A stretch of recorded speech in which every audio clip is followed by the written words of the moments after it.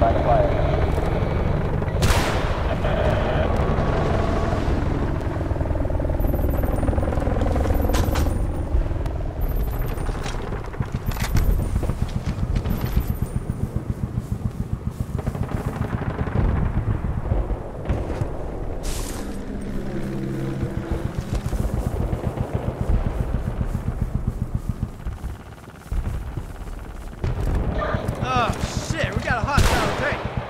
AT weapons to get into position.